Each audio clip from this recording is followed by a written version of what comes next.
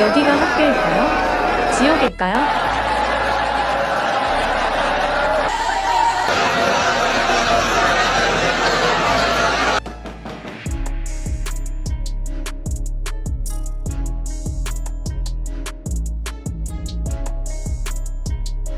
이 학생들은 왜 교과서를 머리에 쓰고 있을까요? 오늘도 본 영상 시작 전에 공지를 하나 하겠습니다. 오늘 영상에서도 유튜브의 심기를 거스르지 않기 위해서 특정 인물들에 대한 모자이크 처리가 되어 있으니 이 점 양해 부탁합니다. 국가를 키우는데 가장 중요한 건 무엇일까요? 수많은 요소가 있지만 그 중 하나가 바로 교육입니다. 교육은 당장의 효과를 보기 힘들다는 점이 있지만 국가의 미래를 위해서 반드시 필요한 과정입니다. 어린아이들이 괜히 나라의 미래라고 불리는 게 아닙니다. 그런데 이런 미래의 새싹에게 황당한 교육을 하는 것이 바로 중국입니다.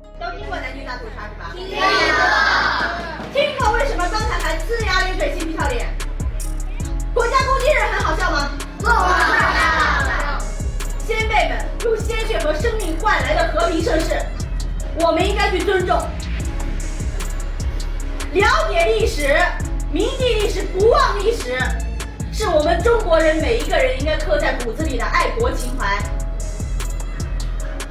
振兴中华是每一个少年应该有的模样。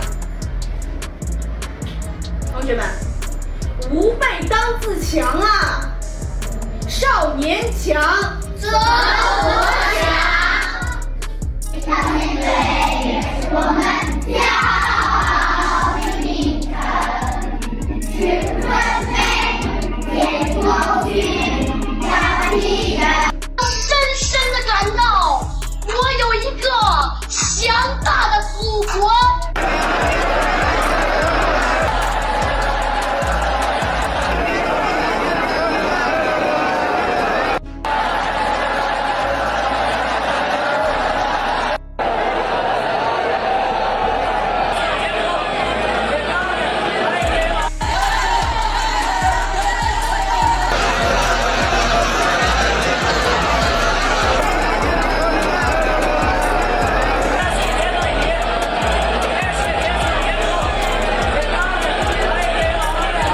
중국의 고위직들은 자신들의 아이들을 선진국으로 유학을 보내서 자유주의와 자본주의를 배우게 하지만 대부분 중국인, 그 중에서도 시골에 거주하는 아이들을 대상으로 이런 교육들이 진행되고 있습니다.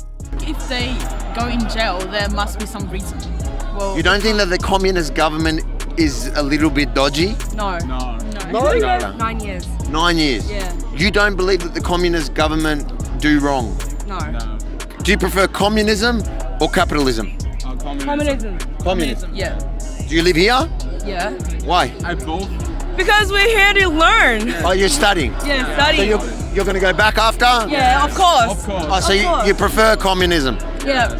You don't think that the co- the government in China does anything wrong? Yeah. No wrong. No, No wrong. Not wrong at all. So stop. So putting people in jail for for practicing religion is okay. Yeah. Yeah, it's okay. Freedom of speech, stopping people from protesting, it's okay. Yes. 이러한 교육이 이루어지는 이유는 단순합니다. 아이들이 커서 국가에 무조건적인 충성을 다하게 만들려는 것입니다. 그리고 그것의 완벽한 성공적인 결과가 바로 소분홍입니다. 과거 마오쩌둥에게 홍위병이 있었다면 시진핑에게는 소분홍이 있는데요.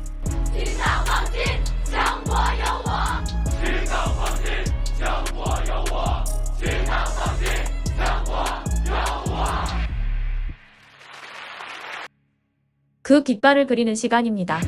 제대로 그리지 못하면 학교에 남아서 그려야 합니다. 亲爱的党组织，我志愿加入中国共产党。我会一直拥护党的纲领，遵守党章程， 一定履行党员义务，坚决执行党决定，并严守党纪律。会永远对党忠诚，为共产主义事业奋斗终身。可以随时为党和人民牺牲一切，永远不叛党。我也一直都知道自己所肩负的责任和使命，要在社会主义建设中有所作为，积极创造，主动付出。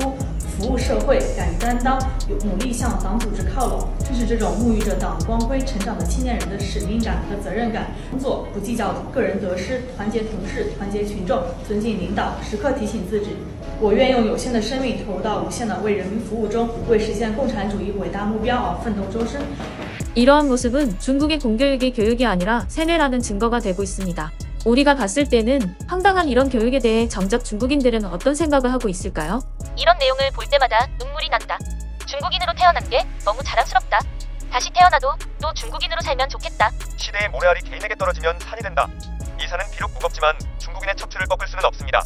하늘의 불꽃은 누구도 끌 수 없습니다. 중국인의 애국심은 중국인만 가질 수 있는 귀중한 재산이다. 서양의 애국심을 표현하자면 그것은 장미꽃, 흑류, 설렘, 열정이다. 그러나 중국의 애국심은 수천 년에 걸쳐 펼쳐지는 그림이고 산과 강이다. 잔잔한 호수 수면 아래 솟아오르는 저류이며 암묵적인 열정이며 피 속에 흐르고 골수에 스며들어 영혼에 새겨지는 부드러움이다. 나는 항상 눈물을 흘리며 중국에 대한 애국심에 굴복할 것입니다. 우리 민족의 고유한 도덕성과 문화를 되살리기 위해서는 전 세계 모든 평등한 국가들이 단결하여 인류의 지속할 수 있는 발전을 달성하기 위해 함께 노력해야 합니다. 우리는 평화로운 시대에 태어난 것이 아니라 평화로운 중국이라는 나라에서 태어났습니다. 사랑과 믿음이 넘치는 나라는 반드시 위대해질 것입니다. 기분이 안 좋을 때마다 애국 영상을 보는데 정말 피가 끓고 눈물이 납니다. 정말 뿌듯합니다. 중국인으로 태어나서 안전하다는 느낌이 듭니다. 나라의 주체는 국민이며 애국심의 본질은 국민을 위한 애국심입니다. 애국심은 상상의 공동체를 사랑하는 것이 아니고 허해할 수 없는 계급 모순의 도구를 사랑하는 것도 아니고 추상적 거대 개념을 사랑하는 것도 아닙니다. 당신이 있는 땅을 사랑하고 이 땅에서 태어난 우수한 문화를 사랑하고 동포를 사랑하십시오. 중국의 모든 젊은이가 포기하는 이들의 말을 듣지 않고 성장하길 바랍니다. 일할 수 있는 사람은 일하고 말할 수 있는 사람은 말을 합니다. 약간의 열과 약간의 빛만 있으면 반딧불처럼 보일 수도 있고 횃불을 기다리지 않고도 어둠 속에서도 조금씩 빛날 수도 있습니다. 이제부터는 횃불이 없습니다. 나만이 유일한 빛입니다. 저는 공장 조립 공정 근로자입니다. 조국이 점점 더 강해지기를 진심으로 바랍니다. 사람은 누구나 자신의 본분을 다하고 마땅히 해야 할 일을 잘 수행합니다. 학생들은 공부합니다. 노동자들은 생산을 위해 열심히 일합니다. 군인은 나라를 지킨다. 의사는 질병을 치료하고 생명을 구합니다. 공무원은 정직하게 일합니다. 그렇다면 이런 황당한 교육을 받은 중국의 미래들은 제대로 잘하고 있을까요? 지금 이게 무슨 일인지 궁금하실 텐데 시험 도중에 컨닝을 하는 학생들이 너무 많아서 해당 과목의 교과서를 머리에 쓰게 하고 있습니다. 또한 다른 곳을 쳐다보면 책이 떨어지니 알 수 있게 됩니다. 이번에는 시험이 끝난 후에 혹시나 숨겨놓은 컨닝 쪽지를 찾는 모습입니다. 도대체 얼마나 컨닝을 많이 하면 이럴까요? 중국에는 이런 말이 있습니다. 믿음의 색깔이 있다면 그것은 중국의 붉은색일 것이다. 중국인들에게 자신들의 정부는 단순히 국가의 개념이 아니라 종교이자 부모이자 믿음의 상징입니다. 그리고 어릴 때부터 이어진 맹목적인 충성교육은 이들을 홍위병 시즌2로 만든 것입니다. 현재 중국의 인구가 줄어들고 있습니다. 저는 이게 정말 다행이라고 생각합니다. 그렇지 않다면 저 엄청난 숫자의 중국인들이 지구를 얼마나 혼란스럽게 만들지 두렵기 때문입니다. 오늘 영상도 마음에 드셨다면 주변에 공유해주시고 좋아요와 구독 부탁합니다.